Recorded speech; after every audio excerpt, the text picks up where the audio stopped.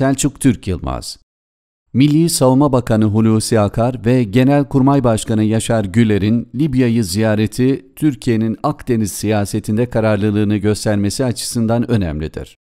Ulusal Mutabakat Hükümeti'nin Türkiye'nin desteğiyle büyük bir başarıya imza atmasından sonra bakanlar düzeyindeki bu ikinci ziyaret, Libya'daki varlığımızın tesadüfi olmadığını gösterir. Bilindiği üzere daha önce de Libya'ya adeta devlet çıkarması yapılmıştı. Salgın sonrası bu yüksek düzeyli ziyaretle Türkiye'nin Libya'daki varlığı tahkim edilmişti. Birinci ziyarete katılanlarla ikinci ziyarete katılanlar arasındaki fark da önemlidir. Birincide Türkiye Devleti'nin varlığı en üst düzeyde temsil edilirken, ikinci ziyarette Milli Savunma Bakanı ile Genelkurmay Başkanı vardı.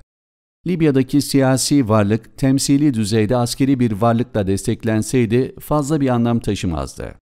Türkiye böylesi bir durumda olabileceklerle ilgili yeterince tecrübe sahibidir. Dolayısıyla askeri varlığın en üst düzeyde temsiliyle Libya, Türkiye açısından bir beka meselesi olarak tanımlanmıştır. Bu da Libya'daki varlığımızın ciddiyetini gösterir. Türkiye'de bir takım çevreler hoşlanmasalar da beka meselesi kavramının Libya için kullanılmasında herhangi bir sakınca yoktur. 100 yıl sonra coğrafyamız Anadolu'daki varlığımızı tehlikeye düşürecek şekilde yeniden çözülmeye başlamıştı.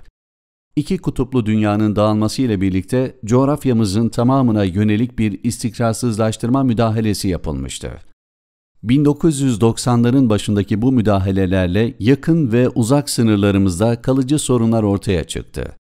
Bu dönemde özellikle Birleşik Arap Emirlikleri, Suudi Arabistan ve Mısır yönetimleri Avrupa ve Amerika gibi dışarıdan müdahale eden emperyalist güçlerle birlikte hareket etmiş ve coğrafyanın çözülmesinde aktif rol oynamıştır. Onlarla birlikte bağımlı yapılarında harekete geçmesiyle ülkeler içeriden teslim alınmak istenmiştir. Bu süreç aktif olarak devam etmektedir. Coğrafyamıza yönelik bütün müdahalelere rağmen Türkiye'nin çözülmeyi durdurmaya yönelik mücadelesiyle de bir takım sonuçlar ortaya çıktı. Bugün emperyalist devletler arasındaki mücadelenin iyi analiz edilmesi gerekir.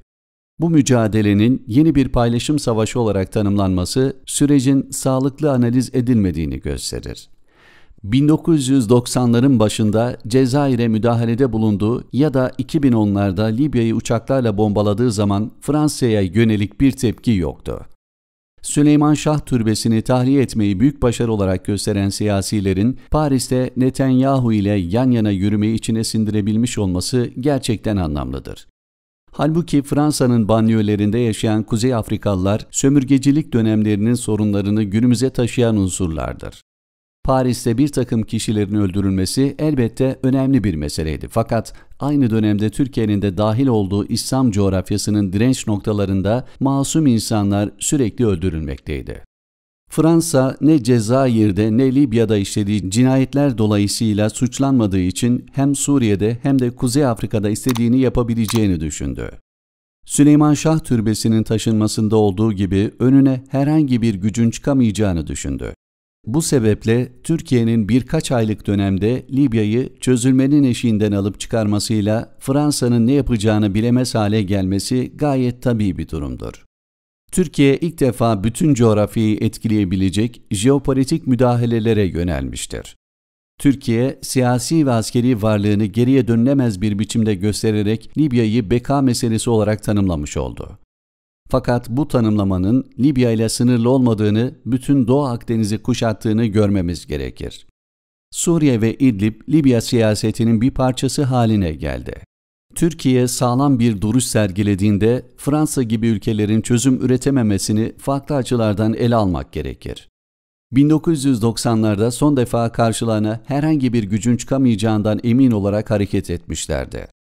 2010'larda aynı anda Mısır, Türkiye, Libya, Cezayir, Tunus, Suriye ve Yemen'e müdahale ettiler fakat bütün olumsuzluklara rağmen coğrafyamız çökmedi.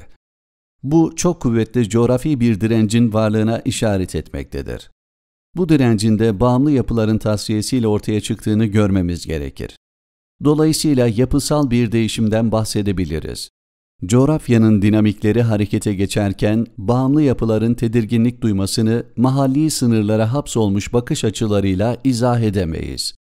Yapısal dönüşümlerin bireysel hırslarına mağlup olmuş şahıslar tarafından görülmesini de beklememek lazım. Selçuk Türk Yılmaz